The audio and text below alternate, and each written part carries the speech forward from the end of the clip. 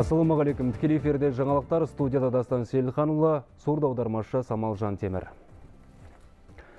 Астанада отандық және шетелдік бақ өкілдері, блогерлер, сондай-ақ академиялық ортаның мамандары жиналды. Мұнда өзара тиімді байланыс орнатудан бөлек нәтижелік келіссөздер жүргізу көзделген. Орталық Азиядағы ең ірі медиа апталық елімізде екінші рет ұйымдастырылып отыр. Ауқымды шара 28 қыркүйекке дейін жалғасады. Оған 2000-нан астам қонақ, қазақстандық және шетелдік медиа индустрияның 60 топ менеджері, 50-ден аса продакшн компаниялар қатысуда. Медиа апталықтың бірінші күні медиа толкс, яғни пікір талас алаңы форматында өтіп жатыр оған әртүрлі қызмет салаларының жетекші мамандар қатысып өзінің үздік тәжірибелерін ортаға салуда. Бұл шараның басты мақсаты отандық медиа нарықтық жан жақты дамыту ғана емес мәдени және ақпараттық байланыстарды да тереңдету. Байланысы мықты мемлекеттің қорға, қорғанысы да қуатты. Жылдан жылға осы апталық қатысуға ықылас білдірген елдердің де саны артып келе жатқан сіздер мен біздің бірігіп отқан істеріміз оң нәтижесі береді деп сенемін. Сондықтан да бұл апталық қатысушылар үшін озық тәжірибелермен танысып пікір алмасып шығармашылық шеберліктерін шыңдауға жаңа технологияларды ел игілігіне жаратуға берілген үлкен мүмкіндік Елордада өтіп жатқан медиа апталықтың алғашқы күні аяқталуға жақын. Дәл қазір бүгінгі жоспарланған бағдарламаның соңғы бөлімі өтіп жатыр. Тақырыбы әуелде айтқанымдай медиа толкс деп аталады. Мұнда не талқыланады, кімдер сөз сөйлейді, оны әріптесім Талғатбек Әбдіғожаевтан білейік. Ол қазір апталық өтіп жатқан жерден тікелей шығуға дайын. Талғатбек, қайырлы күн. Сарапшыларды қазір не толғандырады? Рахмет тастан. Медиа апталықтың алғашқы күніне арналған бағдарламаның соңғы бөлімі өтіп жатыр. Дәл қазір ол болашақтың мамандықтарына қатысты айтылы болашақтың мамандықтарына қатысты. Мұнда тек журналистер тілшілер ғана емес экономист актер және адамға шабыт беріп дамытуға итермелейтін сөздер сөйлейтін түрлі сарапшы майталман мамандар жиналған. Жалпы олар болашаққа бейімделу үшін біз қандай бүгін қандай қадамдар жасау керек? Осы тақырыптар жөнінде әңгіме қозғайды. Жалпы медиа апталықтың алғашқы күні бүгін таңғы сағат тоғызда басталған болатын. Содан бері еліміздің және шет елден келген медиа саласының майталмандары продакшн компаниялар бір бірімен тет а тет келіссөздер жүргізіп тиімді қарым қатынас орнатып жатыр.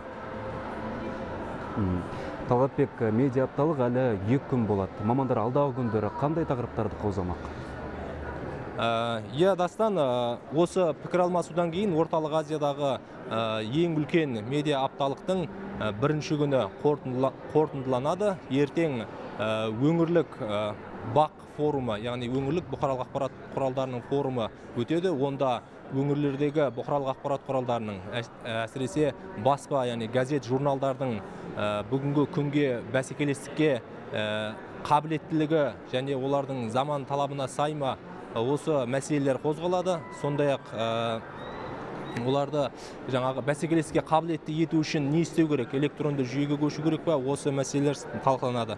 Сондай ақ медиа салаға маман даярлау. Ондағы оқулықтардың бүгінгі оқулықтардың заман талабына сай сай еместігі сөз болады. Үшінші күні диджитал форум өтеді. Онда сандық жүйе яғни бүгінгі күні сандық цифрлық жүйеге көшкендіктен ешқандай шектеу ешқандай өңір болсын орталық болсын онда ақпаратты таратуға ешқандай кедергі жоқ екені соны жоюдың жолдары талқыланатын болады. Әзірге менде бар ақпар осы. Жаңалықтар алдағы топтамасында толығырақ айтатын боламыз. Медиа апталықтың бірінші күнінің қорытындысын. Рахмет. Медиа алаңынан тікелей байланысқа шыққан әріптесім талғатбек әбдіғожаев еліміздегі бұқаралық ақпарат құралдарының электронды нұсқасына қызығушылық артып келеді. Ақпараттық технологияның дамыған заманында ғаламтор қолданушыларының сұранысы басым. Бұл заңды құбылыс дейді сала мамандары. Жергілікті бұқаралық ақпарат құралдарының жай күйімен тілшіміз танысты. Солтүстік қазақстан газеті қара шаңырақ ғасырлық басылымда мағжан жұмабаев смағұл сәдуақасов сәбит мұқанов секілді арыстар еңбек еткен. Олардың ізін бүгінгі ұрпақ жалғастырып келеді. Солтүстік қазақстан латын әліпбиіне көшкен алғашқы газеттердің бірі. Қазір оның атауы айдар аттарымен бірге әр санында осы қаріппен бір-бір мақаладан шығып тұрады. Газет оқырманның қолына аптасына үш рет тиеді. Таралымы 8 мың. Басылымның электронды нұсқасы жетілдірілді. Қоғаммен байланыс орнату үшін арнайы айдар ашылды. Тілшілер шалғай елді мекендерге де шығып өзекті мәселелерді көтереді. Ә, газеттің ә, сақталуы ол ә, ең алдымен шығармашылық ұжымға байланысты. Біз қазір енді осы мақсатпен газетіміздің мазмұнын жақсарту жақсы жақсы материалдар беру қоғамда болып жатқан өз оң өзгерістерді көрсетумен бірге түйінді мәселелерді де оқырмандарға жеткізіп түсіндіру бағытында жұмыс істеп жатырмыз. Жаңа беттер енгізе бастадық жаңа ә, топтамалар енгізіп жатырмыз жаңа айдарлар ашып жатырмыз. Заман ағымына сай телевизия саласы да даму үстінде. Бірінші қарағанда жас арналардың бірі. Көрерменнің көңілінен шығу оңай емес. Сондықтан көк сандықты сапалы бағдарламалармен толтыруға тырысамыз дейді ұжымдағылар. Біздегі басты мақсат ә, ғаламтордағы көрермендерге арнаған бағдарламалар жасау. Яғни бүгінде өңірлік ә, бұқаралық ақпарат құралдарының әсіресе телеарналардағы үлкен мәселе ә, жеке контент жасау. Дәстүрлі түрде шығатын жаңалықтар немесе диалогтық бағыт бағдарлама ток шоулар ә, дәстүрлі түрде жалғасын тауып келе жатыр. Сонымен қатар жастар аудиториясына арналған әлеуметтік желілерге таратуға ыңғайлы немесе жаңағы YouTube желісінде бар көрермендер көп. Осындай әлеуметтік желілерге ғаламторға арналған көптеген бағдарламаларды жүзеге асырып жатырмыз. Газет болсын телеарна болсын адамдардың ақпаратпен сусындайтын бұлағы. Сондықтан бұқаралық ақпарат құралдарының тәрбиелік рөлі орасан зор. Айдарбек айтмұхамбетұлы айнұр әбдиева төлеген иманов петропавл хабар 24 Қауіпсіздік және азаматтық қорғаныс. Осындай атпен бүгін елордада халықаралық көрме өз жұмысын бастады. Шара барысында әлемнің 13 елінен келген 70-тен астам компания лаңкестік шабуылдарға төтеп беретін соңғы үлгідегі техникаларды жұрт назарына ұсынды. Мамандар терроризмнің алдын алу үшін технологияны жетілдіруге жіті мән беру керек деп есептейді. Осыған орай басқосуда қауіпсіздікті қамтамасыз етуге арналған қондырғылар мен құрал жабдықтар шығаратын компаниялар өз тауарларын таныстырып, тәжірибе алмасуға мүмкіндік алды. Айта кетейік, аталған көрме осымен төртінші рет ұйымдастырылып отыр. Один из наших мобильных продуктов – это MDM Lock. Біздің бағдарламамыздың бірі MDM Lob деп аталады. Оған жергілікті мамандар, шетелдіктер де аса қызығушылық танытып жатыр. Ұялы телефон арқылы қызметкердің жұмысқа келіп кеткені есепке алынады. Мекемеге кірерде әдеттегідей карта емес, телефон қолданылады. Жүйе телефондағы бірнеше қосымшаны уақытша істен шығарып тастайды. Мәселен, дыбыс және бейне жазба жасау мүмкін болмай қалады. Оған қоса рұқсат қағаз бен қызметтік куәлікті, басқа да құжаттарды біріктіретін мынандай магниттік картаны ұсынып отырмыз. Томирис тарихи фильмін түсіру жұмыстары аяқталуға жақын. Бұған дейін Қапшағай, Шонжы мен Бурабайда болған шығармашылық ұжым жақында Алматыдағы қазақ фильмге ойысты. Қазір киностудия аумағында салынған әйгілі Вавилон қаласының декорациясында түсіріліп жатыр. Тілшіміз Ұлан Нарымбек толықтырады. Якбар мибинам. Бұл не туралы? Бұл сізде менің қалаған затым бар ма деген сөз. Тарихи фильмді түсіру жұмыстары өткен жылы қазан айында басталған еді. Бүгін Тамиристің жұбайы Арғын мен ұлы Спаргаптың көне шаһар Вавилонға құрыш патшаға келетін сәті түсірілді. Айтпақшы ежелгі Вавилонның нобайын келтіруге құрылысшылар 6 ай уақыт жұмсаған. үлкен сахна күрделі сахна массовка жүз жүз елу адамдай массовка болады оны компьютерден оны көбейтеміз және мына декорацияларды да бәрін компьютерді кішкене дұрыстатып көлемін үлкейтеміз қаланың вавилонның Соғыс сахналарын ауқымды көрсету үшін де компьютерлік технология қолданылады. Негізгі рөлдерді ойнайтын актерлардың барлығы намат жаттығу лагерінде арнайы дайындықтан өткен. Басты рөлге 15 мың қыз келіншектің ішінен таңдап алынған Альмира Тұрсын екі ай дайындықтан соң ат жалын тартып мініп семсерлесуді үйрендім дейді. Қызықтар да болды қиындықтар да болды кейбір кезде шаршайсың костюм костюм кигенде ыстық болады атпен шауасың мысалы біз көне түрікте түсіргенбіз сол тілім келмейді Басты рөлмен эпизодта ойнайтын актерлерге арнап мыңға жуық, ал Тамириске арнап 20 костюм тігіліпті. Сондай-ақ 10 мың қару жарақ соғылған. Шығармашылық топ бір екі күнде түсіру жұмыстарын аяқтап, монтаждау және дыбыстау жұмыстарын бастайды. Ал келесі жылы наурыз мерекесінің қарсаңында томирис фильмі көрерменге жол тартады. Ұлан нарынбек қанат қаматаев хабар 24 алматыдан. Өзге ақпарат. Маңғыстауда мемлекеттік қызметкерлерге жалақы төлеудің факторлық балдық шкаласын енгізудің қорытындылары талқылануда. Жаңа жалақы төлеу жүйесі елбасының жүз нақты қадам ұлт жоспарының шеңберінде жүзеге асқан. Сонымен жыл басынан бері жалақыны екі жарым есеге көтерудің нәтижесінде ауыл мамандарының жалақысы 50 мың теңгеден 120 мың теңгеге дейін өсті.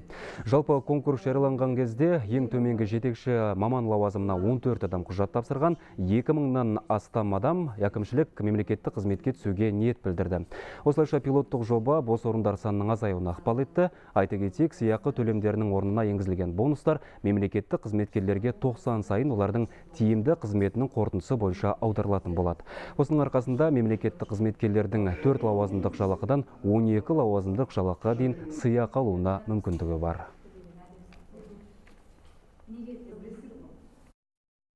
бір ауылдық округтерде 28 рет бос орынға хабарландыру жарияланып бірде бір үміткер болмағандығын байқадық. Міне қазіргі факторлы балдық шкаланың біздің өңірде енгізілуі осы проблеманы түбегейлі жеңді деп айтуға болады.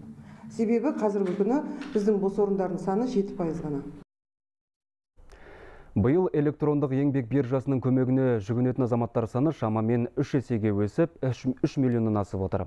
Ресми статистика бойынша жыл сайын 2 миллионға жуық адам алғаш рет қызметке тұрып, тұрақты орнын басқасына ауыстырады екен. Бүгінде жұмыспен қамту орталықтарына 65 мың жұмыс беруші мен 295 мың жұмыс іздеуші тіркелген. Порталдың арқасында 280 мың адам екі қолға бір күрек тапты. Осылайша соңғы 8 жыл ішінде өз-өзін жұмыспен қамтып жүргендер саны екі есеге азайып, дамыған елдердің көрсеткішіне жетті. Мәселен, Қазақстан, Австрия, Франция және Германия сынды мемлекеттермен теңесіп, бейресми жұмыс бастылардың үлесі 15-16 процентті көрсетіп отыр.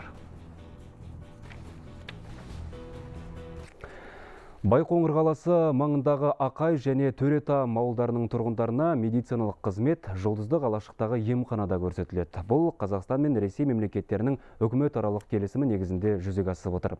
Сыр өңірінің солтүстік аудандары үшін Байқоңырдан ашылған медициналық орталық филиалында 20 мыңдай азамат тіркелді.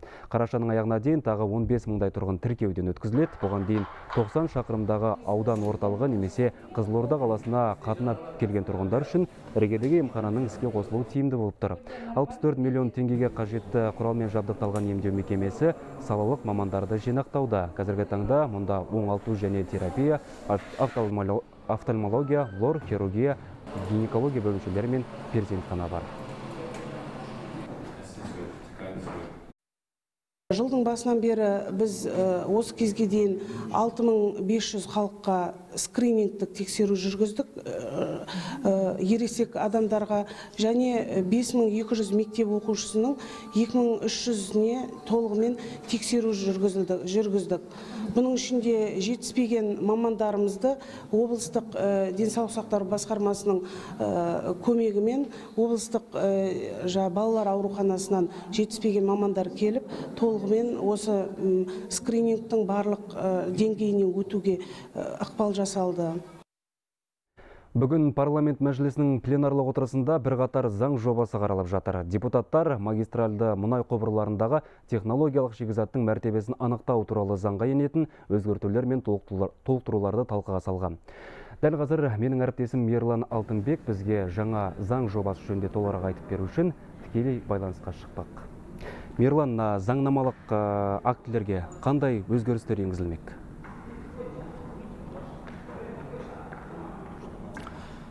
Рахмет дастан. Армысыз армысыз құрметті көрермен. Иә бүгін енді парламент мәжілісінің пленарлық отырысында бірқатар мәселелер қаралды.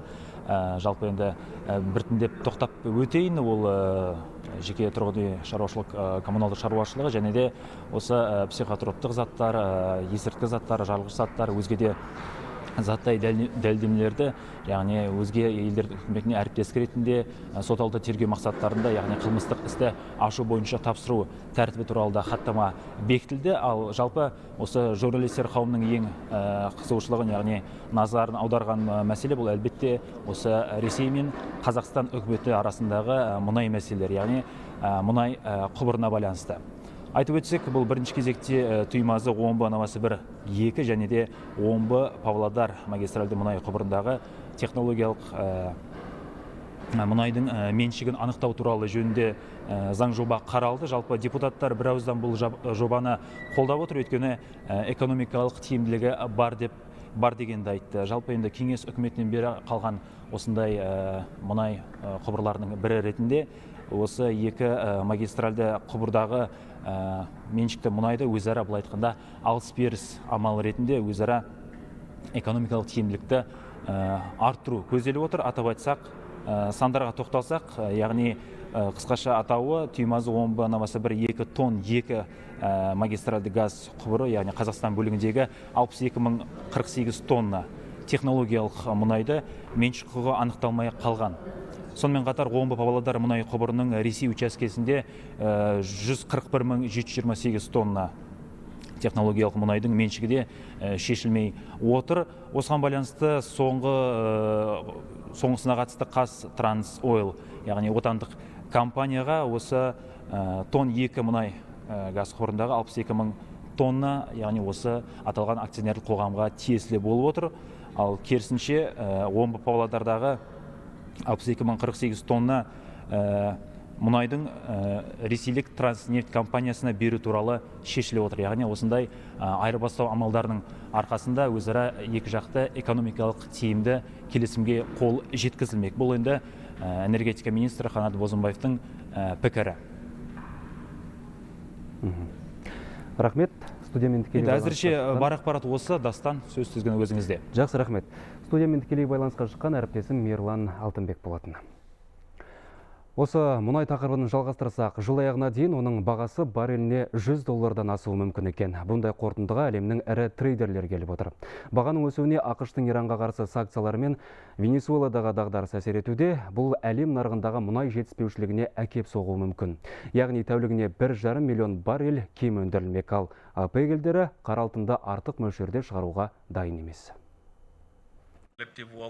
Өткен жексенбіде алжирде опек және өзге де энергетика министрлерінің отырысы ұйымдастырылды. Басқосуда ақштың иранға қарсы санкцияларына байланысты мұнай бағасының құбылуы жайлы сөз болды.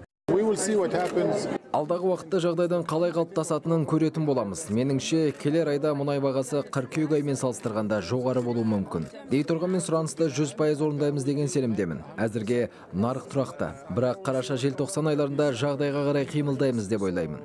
Осыдан төрт жыл бұрын мұнай бағасы барреліне 100 доллардан асқан екен. Егер бұл жағдай қайталанса онда келер жылы қоймаларда сақталатын мұнай көлемі артуы мүмкін. Сәйкесінше бұл мұнай бағасына кері әсерін тигізбек дейді сарапшылар. Сол себепті де опек тәулігіне 1 миллион баррель мұнай өндіруді тоқтата тұрмақ. Өз кезегінде опектің бас хатшысы мұхаммед баркиндо ұйымға мүше және мүше емес елдерді тиімді әріптестік құруға шақырды. Олай етпеген жағдайда әлемді тағы да дағдарыс жайлауы мүмкін. Непредсказуемая санкционная ойда жоқта санкциялар салу. Сауда соғысы. Мұның барлығы да жаһан экономикасына кері ықпалын тигізеді. Сондай ақ нарықты болжауда кедергі келтіреді. Бұндай шешімдер әлем экономикасының өсімін тоқтатады. Әрі дүние жүзіндегі энергия қауіпсіздігіне тосқауыл болады. Жалпы мамандардың пікірінше 2023 жылға қарай қара алтынға сұраныс былтырға қарағанда 7 миллион 300 мың баррельге артуы мүмкін. Оған мұнайды тұтынушы елдер экономикасындағы құрылымдық өзгерістер себеп болуы мүмкін. Бақыт тоқтаева хабар 24 ақш президенті дональд трамп иран билігін сынға алып оны оқшаулауға шақырды. Ақ үй басшысы мұндай пікірді біріккен ұлттар ұйымының бас ассамблея сессиясында сөйлеген сөзінде айтты. Оның мәлімдеуінше халықаралық қауымдастық бұл мемлекеттің агрессиясына жол бермеу тиіс. Сондықтан құрама штаттар алдағы уақытта иранға жаңа санкциялар салатынын жеткізді. Алайда иран президенті хасан рухани вашингтон иранға қатысты дұшпандық саясат ұстанып отыр деп көрші мемлекеттермен бейбіт қарым қатынаста өмір сүруді қалайтынын жеткізді. My administrations and meetings. Iran's leaders. Иран билігі көрші елдерді құрметтемей өзге мемлекеттердің құқықтарын аяққа таптап отыр. Олар сондай ақ өз халқының байлығын талан таражға салып, таяу шығыс пен одан саймақтарда тұрақсыздық тудыруда. Мен ақштың бізге қатысты саясатының дұрыс еместігін оның иран халқының мүддесіне қайшы екенін ашық айтқым келеді. Бірде бір мемлекет қысым арқылы келіссөз жүргізуге келіспейді. Диалог өзара құрмет пен келісім негізінде жүруі тиіс. Бас ассамблеядағы сөзінде ақш президенті ОПЕКті де сынға алды. Оның айтуынша мұнайды экспорттаушы елдер қара алтын бағасын реттеп әлемді тонап отыр. Сондықтан мұндай жағдайға жол бермейтінін айтып, ОПЕКтен мұнай құнын түсіруді талап етті. Осы сағатқа келіп түскен ақпараттар лек осындай біздің арна қосылу болсын